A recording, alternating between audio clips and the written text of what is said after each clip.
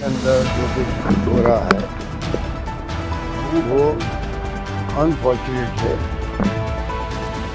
भारत जोड़ो न्याय यात्रा, ऐतिहासिक यात्रा है। उसको विस्तृत करने का प्रयास किया गया।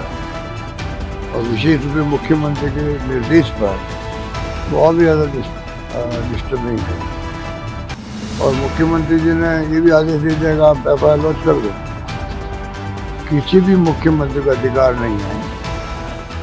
प्राइम मिनिस्टर का अधिकार नहीं होता है आप किसी पुलिस वालों को अधिकार कहो कि आप सीधा एफ़ आई आर दर्ज करो। ये प्योरली काम सी आर पी सी के अंतर्गत ये काम होता है ऐसे वो तय करता है कि जो घटना घटित हुई है, वो घटना किस रूप में हुई है, क्यों हुई है और क्या क्या धारा लगेगी। और एफ़ आई आर लॉन्च होनी चाहिए नहीं होनी चाहिए। ये फैसला भी ऐसे जो करता है।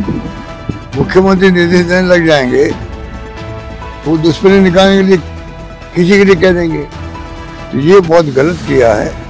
मैं समझता हूँ कि इस प्रकार की अगर हरकतें होगी, अन्य राज्यों में कोई जाएगा जो नॉन बीजेपी गवर्नमेंट है, वहाँ कोई जाएगा केंद्रीय मंत्री या इनका बड़ा नेता जाएगा बीजेपी का, उसके खिलाफ नहीं, अगर इस प्रकार का आदेश देगा मुख्यमंत्री और गृह मंत्री आप एफ़ आई आर लॉन्च कर दीजिए। आप सोच सकते हो कि ये कोई नई परंपरा रही लोग तो बहुत अनफॉर्चुनेट है कि इस प्रकार की जो यात्रा शानदार चल रही है, उसको डिस्टर्ब करने का षडयंत्र है।